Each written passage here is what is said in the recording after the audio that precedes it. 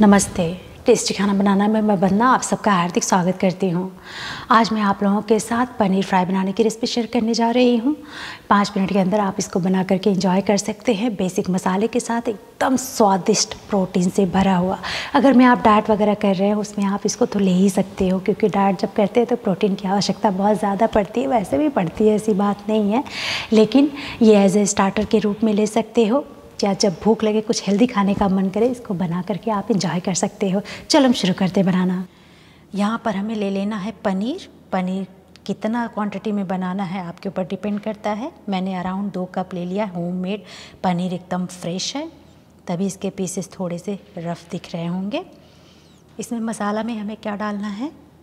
One four tea spoon भुना हुआ जीरा पाउडर ले लिया है। मसाला इसमें नाम मात्र का डालेंगे। वन फोर टी स्पून हल्दी पाउडर। यहाँ पे हम वन फोर टी स्पून लाल मिर्च का पाउडर मतलब देगी मिर्च डाल रहे हैं ये जिसको आ, क्या बोलते हैं कश्मीरी लाल मिर्च उसको डाल दिया। और सेम क्वांटिटी में one four teaspoon red chili powder spicy आपके ऊपर डिपेंड करता है। वन पिंच जितना धनिया का पाउडर और वन फोर टी स्पून गरम मसाला। नमक स्वाद के अनुसार। देन इसमें मैं डाल रही हूँ chaat masala one four teaspoon ये ऑप्शनल है, क्योंकि नींबू का रस हम डालेंगे इसमें तो आप नमक थोड़ा सा और डाल दिया। तो आप सिर्फ़ नींबू का रस भी डाल सकते हो, या अमचूर पाउडर और चाट मसाला डाल सकते हो, थोड़ा और चटपटा लगेगा। तो इसमें अराउंड वन टेबल स्पून हम डाल देंगे नींबू का रस। सब कुछ डालने के बाद एकदम हल्के हाथ से हमें इसको मैरिनेट कर लेना है। जैसे कि होममेड पनीर है तो थोड़ा ज़्यादा सॉफ्ट होता है। तो जल्दी टूटने लगता है। एकदम हल्के हाथ से हम इसको मिक्स कर लेंगे। अगर मैं आपके पास समय हो तो इसको 15-20 मिनट रख दो मैरिनेट करके और अच्छा इसमें टेस्ट भिन जाता है।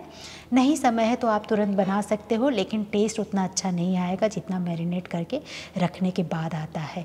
हल्के हाथ से हमने मिक्स कर दिया। मैं इसको पंद्रह मिनट के लिए रख देती हूँ कवर करके।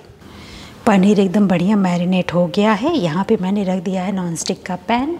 इसमें हम डालेंगे वन टीस्पून घी। घी, बटर, तेल कुछ भी डाल सकते हो। अब ये पनीर एक एक करके हम तवे पे रख देंगे। पूरा एक साथ में ही डाल दिया है क्योंकि तवा काफ़ी बड़ा है हमारा। अब थोड़ी थोड़ी देर के बाद हम इसको उल्टेंगे, पलटेंगे। अब हम इसको धीरे से पलट लेते हैं सब एक एक करके।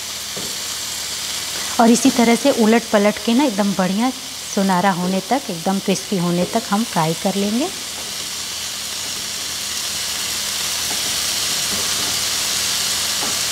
एकदम बढ़िया कलर आ रहा है। आँच के ऊपर थोड़ा ध्यान देना, मैनेज करना, उसको एडजस्ट करना पड़ता है। कभी मीडियम फ्लेम पे, कभी मीडियम हाई फ्लेम पे, इस तरह से आप इसको फ्राई करना। पनीर एकदम बढ़िया फ्राई हो करके रेडी हो गया है। फ्लेम को हम बंद कर देंगे। इसको हम दूसरे बर्तन में निकाल लेते हैं। यहाँ पर एकदम गर्मा गर्म स्टार्टर पनीर फ्राई बन करके रेडी हो गया है। पूरा प्रोटीन से भरा हुआ। इतना है इजी इसको बनाना। इस तरह से आप लोग भी बना करके इंजॉय कर सकते हैं। इस रेसिपी को ना तुरंत बनाओगे। तुरंत ये चट हो जाएगा। एक भी पीस आपको भी नहीं मिलेगा। ज़रा बनाना, ज़्यादा क्वांटिटी में बनाना। ये रेसिपी कैसी लगी? प्लीज़ कमेंट सेक्शन में लिख के मुझे ज़रूर बताना। मेरे इस वीडियो को, मेरी इस रेसिपी को ज़्यादा से ज़्यादा शेयर लाइक जो नए होंगे इस चैनल पर प्लीज़ सब्सक्राइब ज़रूर कर देंगे। अब मैं आप लोगों को नेक्स्ट रेसिपी के साथ मिलती हूँ। Thank you bye